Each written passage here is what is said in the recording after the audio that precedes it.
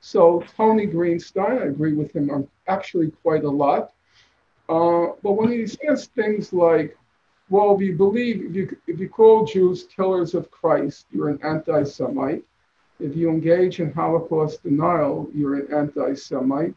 I think Mr. Wadsworth said, if I understood him correctly, and I might be wrong here, but he opposed the publication of David Irving's Diaries of Goebbels because uh, Irving is a, a Hitler apologist.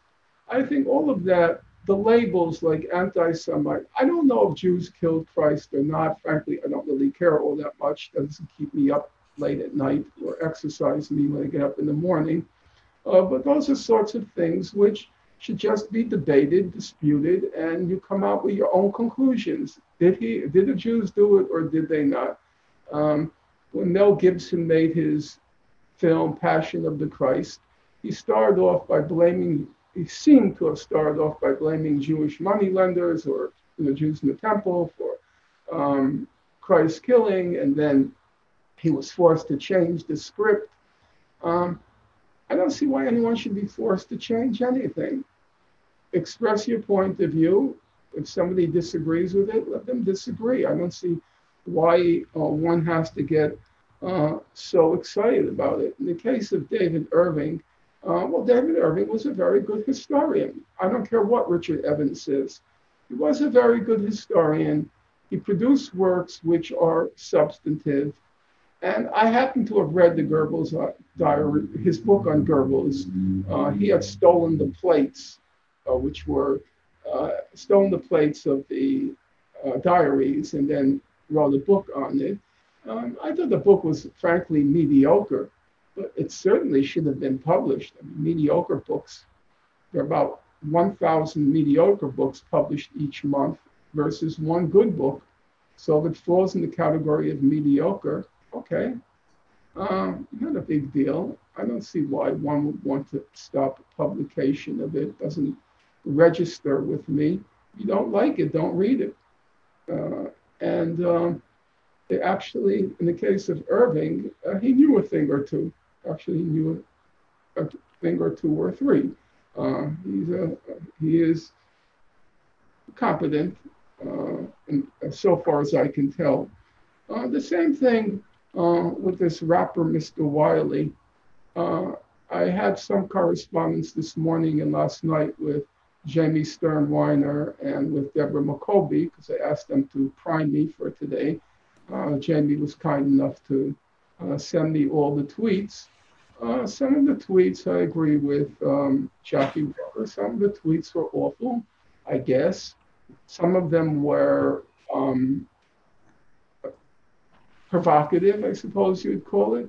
I mean, some of the tweets I have to say, he one of the tweets, the first one that Jamie sent me was with the pictures of the Bolsheviks who were uh, allegedly responsible for the, the Bolsheviks and their comrades who are allegedly responsible for the murder of millions of Christians. And they had a picture of Leo Jogiches. I thought to myself, who even knows who he is? I know who he is. He was Rosa Luxemburg's first lover, and he was the head of the Polish uh, left wing Communist Party. But nobody even knows who he is. I suspect the only one here, the only two people here um, who know him are um, Tarek and uh, Tony. Uh, not exactly the biggest figure, even the pantheon of socialism. Uh, not exactly a big figure. So I don't see what's the reason to get excited. I don't see the reason to get excited about Holocaust deniers. First of all, I don't know what a Holocaust denier is. I don't because some people say if you deny the, the centrality of the six million Jews being killed and you try to bring in other groups of people, you become a Holocaust denier. Other people say if you deny the centrality of the gas chambers, you become a Holocaust denier. So, by that standard, strangely enough, and I guess Ta- uh, Tarek and Tony will be the only ones to remember, by that standard, um, Daniel Jonah Goldhagen, the author of Hitler's Willing Executioners, that, that, that best-selling um, schmata, um, he's a Holocaust denier. because he claimed that the core of the Holocaust didn't occur in the gas chambers. He said it was in the killing fields uh, that the essence of the Holocaust occurred. And then um, the fellow who, his name just slipped my mind, but you can help me with that, the who made the 12 hour film Shoah, uh, Lanzmann. Lanzmann. Right. So then Lanzmann started to accuse Goldhagen of being a Holocaust denier because Lanzmann focused on the gas chambers. And then the question of the numbers how many were killed?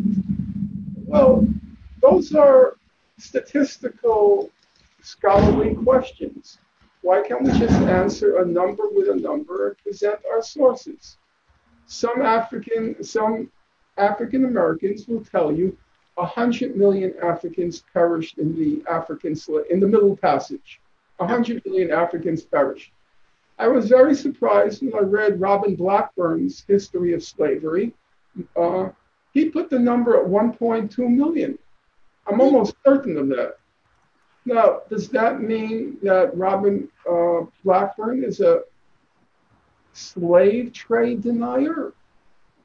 Or do we just go through the numbers? We evaluate, assess.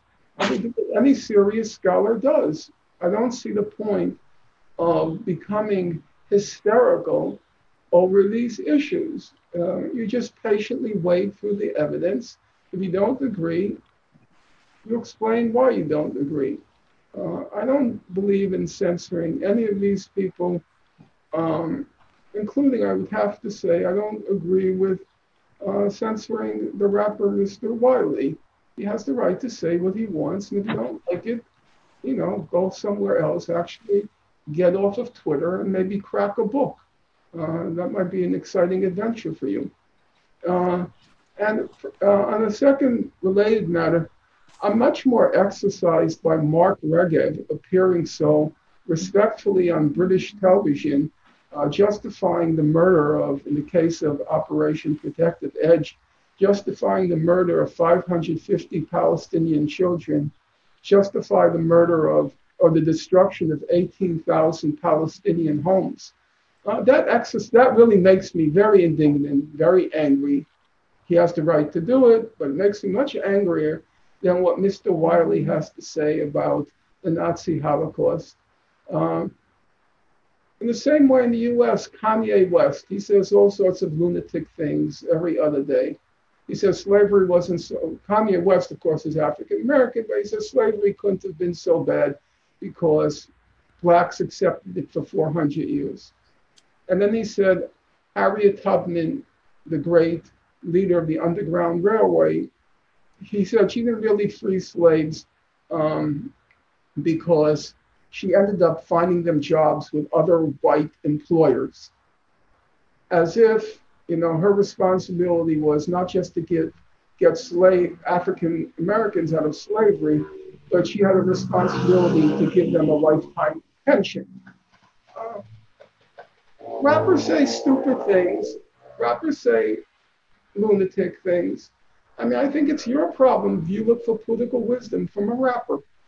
Okay, my stupid youth, I looked for political wisdom from um, Jane Fonda and Glenda and um, oh god, and Vanessa Redgrave. Okay, that was dumb. I'll agree, but to get hysterical, to get exercised, I, I don't see it at all. If you want to get exercise, get exercised about people who are apologizing in public for crimes that are being committed in real time, in real time. Not about what somebody has to say about the Nazi Holocaust or about slavery or about the Middle Passage. Maybe it's dumb, maybe it's not dumb, but we can just go through the normal protocol of trying to separate out truth from lies.